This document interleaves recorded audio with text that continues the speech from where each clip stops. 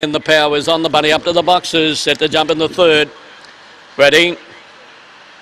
Off and running now. Key To Eden jump good off the inside, showing speed. Divine Law going down the outside. Pasha Barker as they go around that first turner. They were followed by Electro Glide, so raise the lighter. A good way back to Hot Buzzard and Davies the lead at the tail of the field. Key To Eden the leader. Two lengths on Divine Law and the leader got away on the turner. In third place, Pasha Barker followed by Electro Glider. It's Key To Eden going along beautifully. Too good for Divine Law. Up the third, Pasha Barker. Fourth, not much in it. Electro Glide also raised a light. Hot Buzzard and Dust the Ball was Davies Elite. Number one, the winner, Key To Eden. Jump good off that inside box. Suave Fella Wild Chant owned by Stephen Connor. Trained at Suez Gully by Eric Castle. Gee, it has gone good. 25.07. Six Divine Law run a good race. Collision Majestic Rush for Pat Pirelli.